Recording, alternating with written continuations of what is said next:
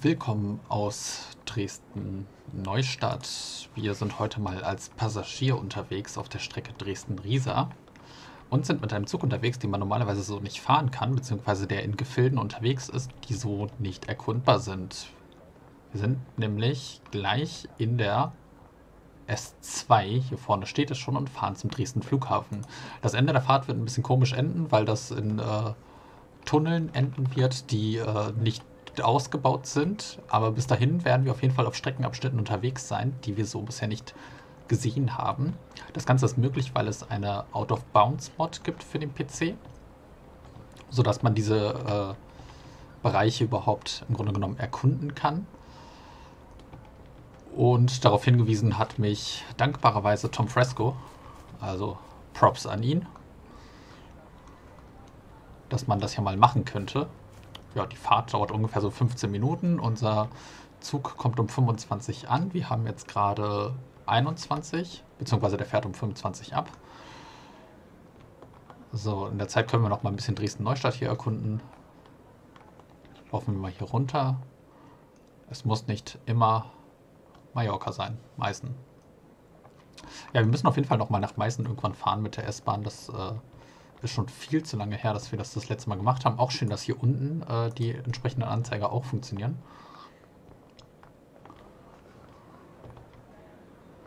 So, was haben wir hier? Trägt unzählige Shoppingtüten und meckert trotzdem nicht. Hm. Finde ich kritisch, den Spruch. Ist natürlich durch eine Mod. Bahnsteig, Plattforms Qua. Kai? Qua? Kai? Weiß ich nicht. Ah, da vorne fährt ein 143 ein. Ne, nur 146 nach Leipzig Hauptbahnhof.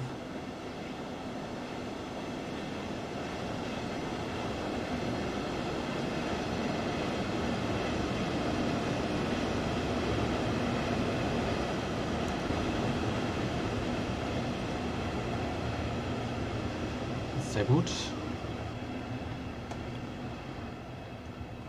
Uhr haben wir? Huch. Wir haben 23. Ja, ja, wir erkunden noch ein bisschen und dann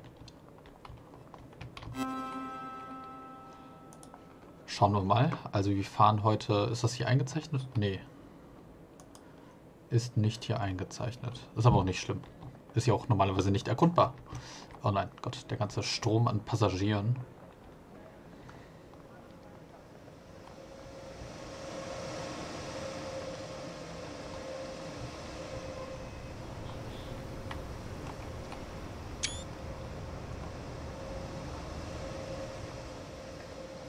Schön, oder? Der Bahnhof. Also schon heftig, wenn man bedenkt, dass ja auch noch äh, gleichzeitig ähm, Dresden Hauptbahnhof ja auch gebaut werden musste.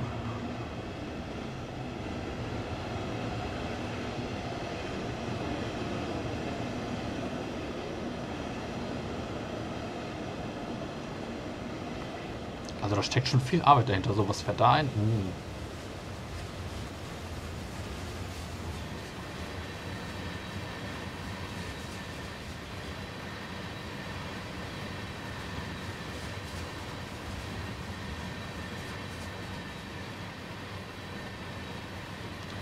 Und da kommt eine 146 im Bahnland Bayern Design.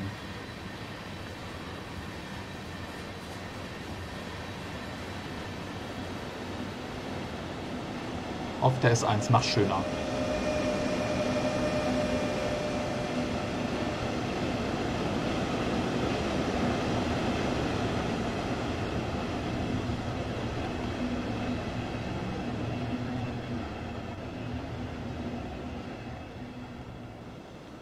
Und da kommt unser Zug. Sehr schön im Steuerwagen, das freut mich.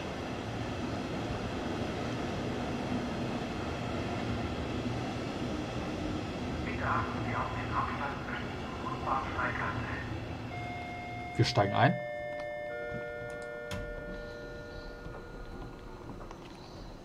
So. Oh, ich höre eine 101. Wo ist die 101?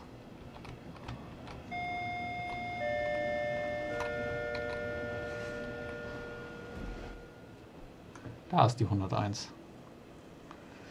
Sehr gut. Wir stehen mal einmal auf hier.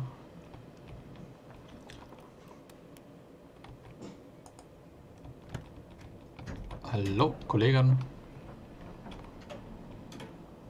Lara. Hi. Hat schon Fahrt. Äh, wir gucken mal, dass wir für sie die äh, Beleuchtung noch richtig einstellen. Ähm, reduziert, bitte. Jawohl.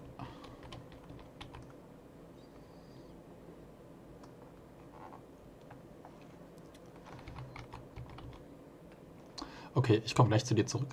Ähm, machen wir kurz die Tür zu. Ah, ich, ich, ich finde das immer ein bisschen schade, dass die Innenräume der Züge komplett ohne Schatten sind. Ne? Also man, es fühlt sich immer ein bisschen komisch an, hier rumzulaufen.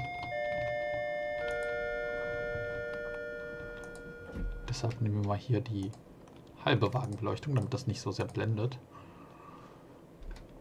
So, oben die erste Klasse, hier die zweite Klasse.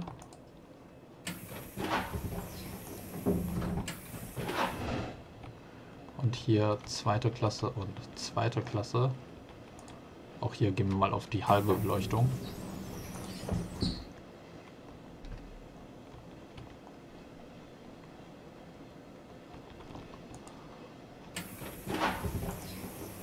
Dabei gucken wir uns noch kurz die Lok hinten an. Der Großraumbereich. Oh, die Tür lässt sich öffnen. Ah, besser nicht.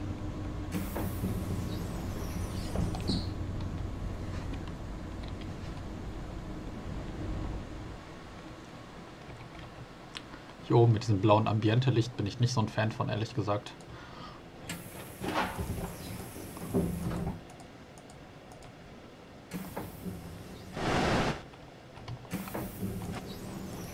Hallo.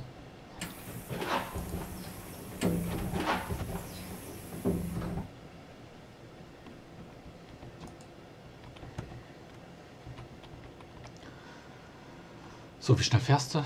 82. Wir können uns ja mal hier hinsetzen.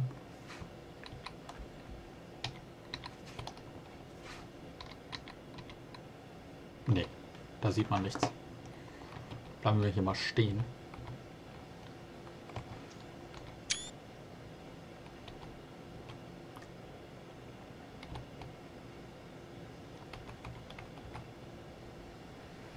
Hallo, kleine Zugbegegnung.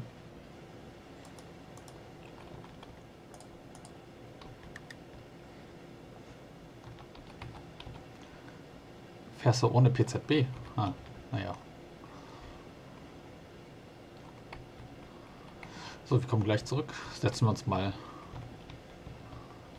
hier oben hin.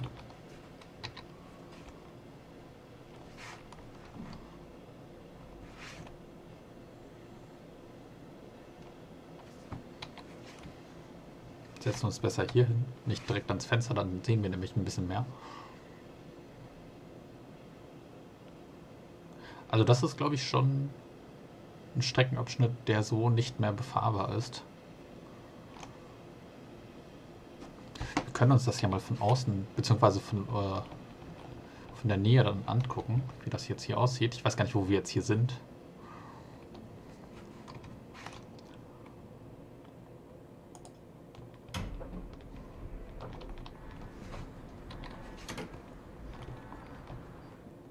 Ich komme hier nicht raus.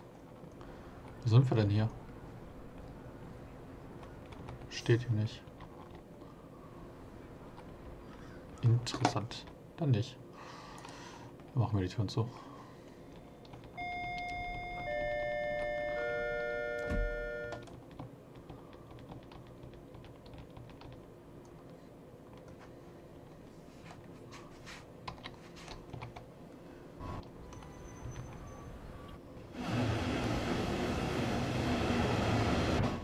Interessant. Wenn ich jetzt die Kamera wechsle in die Lok, dann fallen wir immer unter die Karte.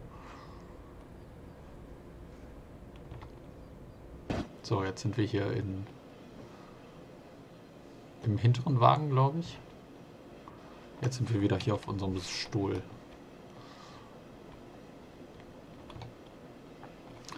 Wir bleiben mal einfach hier vorne bei ihr. Wobei, wenn wir uns hier hinsetzen, dann können wir auch auf die Außenkamera zugreifen.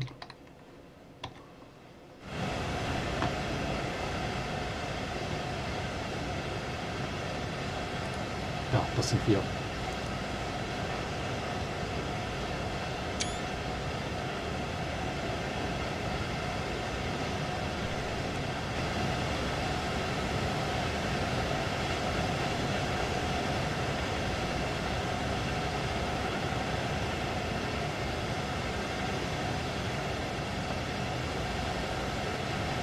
So, so sieht die Map aus.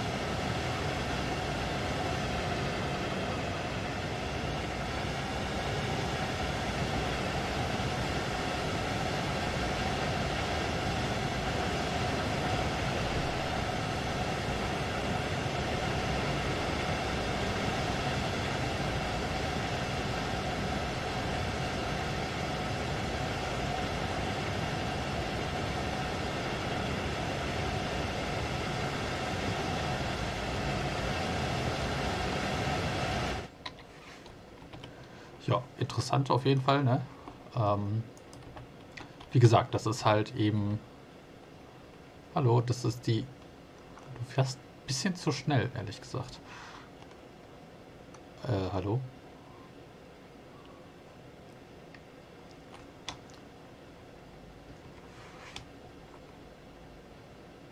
Okay, halt zu erwarten. Du solltest mal langsam runterbremsen.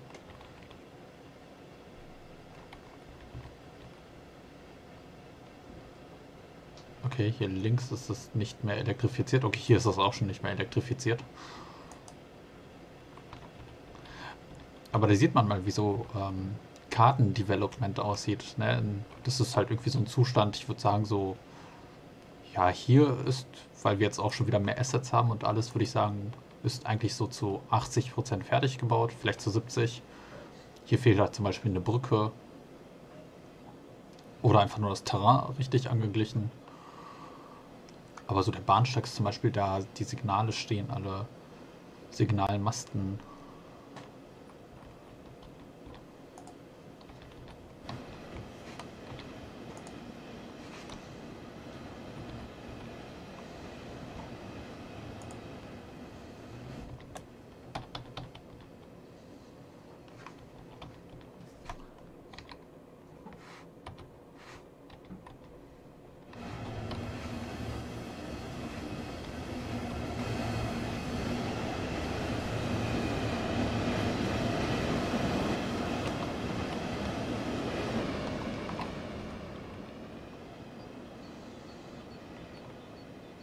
Ein Trampolin.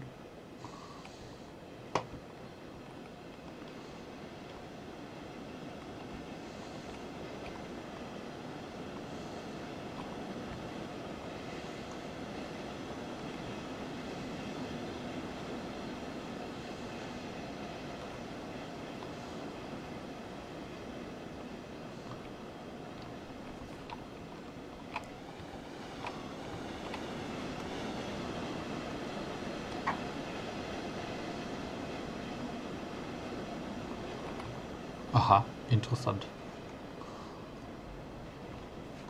Was man nicht hier alles so entdeckt, ne? Kleines Überwerfungsbauwerk.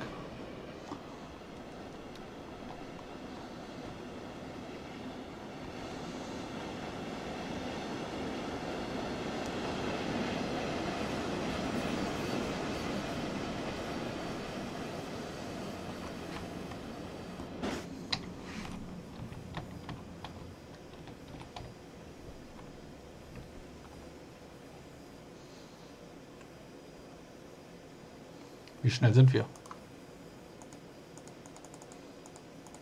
Dann nicht. So, hier wird es eingleisig. Und ab hier gelten 60. Ja, wir fahren 60.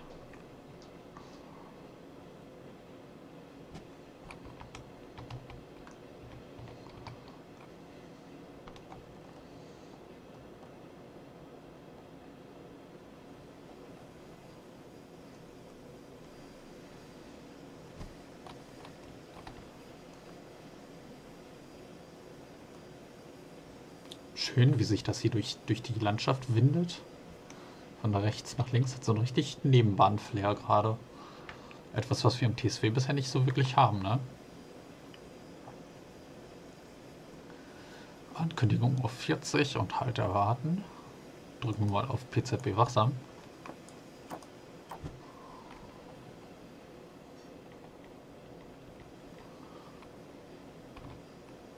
So, Weiche steht nach rechts.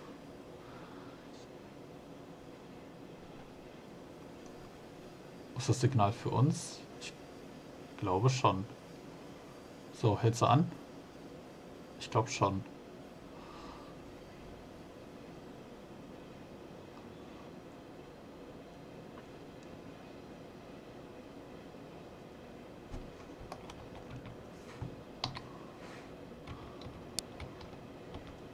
Wo sind wir denn gerade? Aha, hier. Ne? Hier ist Dresden Hauptbahnhof, da sind wir.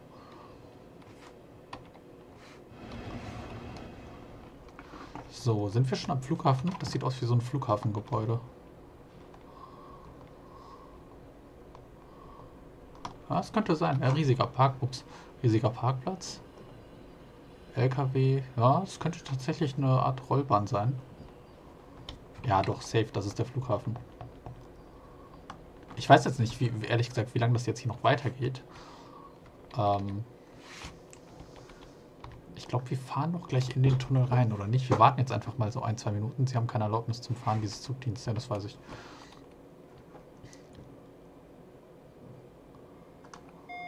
Ah, schließt die Türen, okay.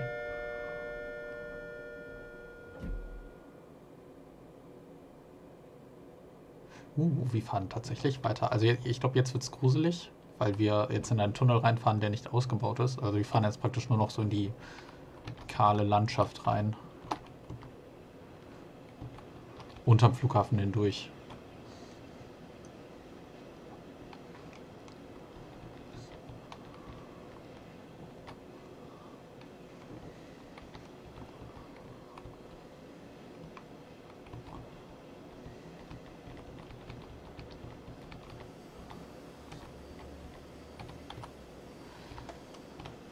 Okay, also einmal Kopf einziehen. Wir beamen uns in eine andere Dimension hinein. In 3, 2, 1.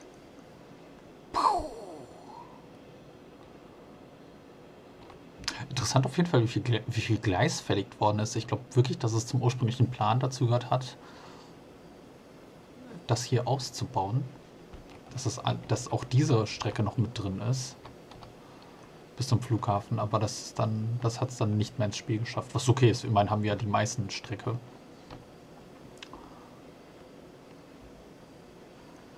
So, das scheint mir auch die Endhaltestelle zu sein. Jetzt geht es hier einmal nach links. Da vorne sehen wir Prellböcke.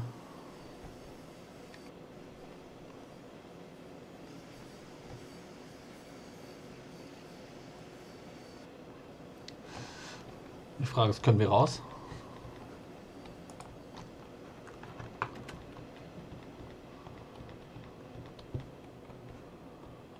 Laufen wir noch einmal durch den Zug. Ah ne, hier ist die Tür. Komm schon, lass mich raus. Ah. Ich will raus.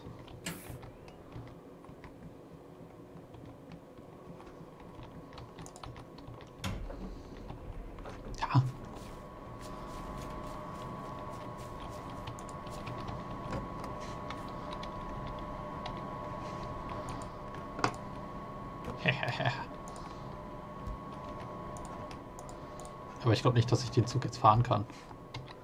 Nee, schade. Schade, schade, schade.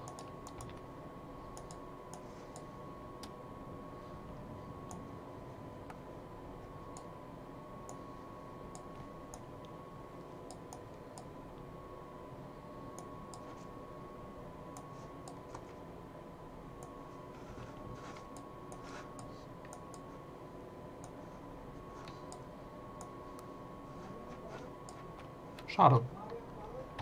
Gut.